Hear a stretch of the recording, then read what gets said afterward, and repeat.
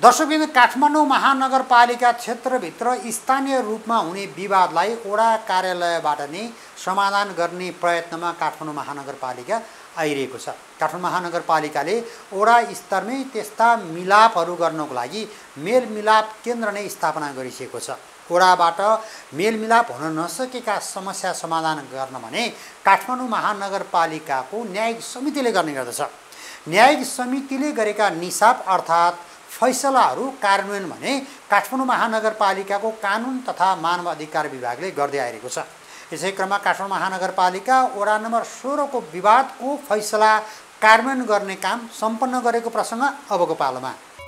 काठमाडौँ महानगरपालिका मानव अधिकार तथा कानुन विभागले न्यायिक समितिले गरेको फैसला कार्यान्वयनमा ल्याएको छ। काठमाडौँ महानगरपालिका वडा नम्बर सोह्र ठमेल चाक्सीबारी स्थित घरको भाडा विवादको उजुरी माथि छानबिन तथा फैसला पश्चात विभागले घर खाली गराएको हो।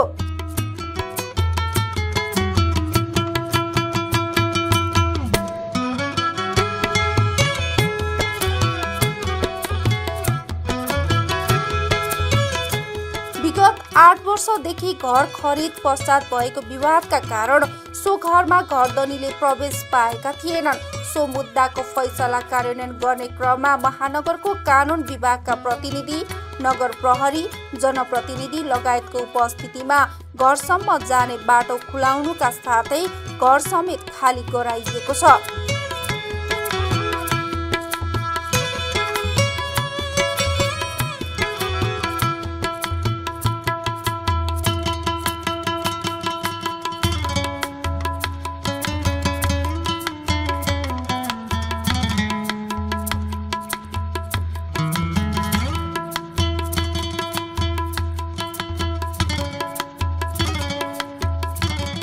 काठमाडौँ महानगरपालिका वडा नम्बर सोह्र किता नम्बर एक दुई एक एक र एक दुई एक सात घर जग्गा दुई हजार चौहत्तर सालमा बिक्री भएको थियो।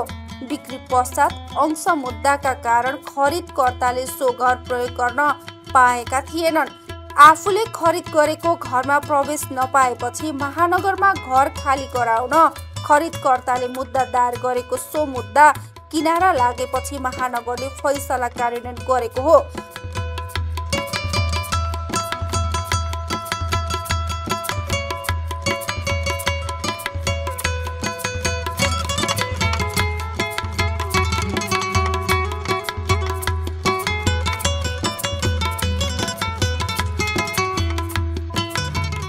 खरिदकर्ताले प्रवेशमै रोक लगाउने मनसायले सार्वजनिक बाटोमा समेत निजी गेट राखिएको थियो।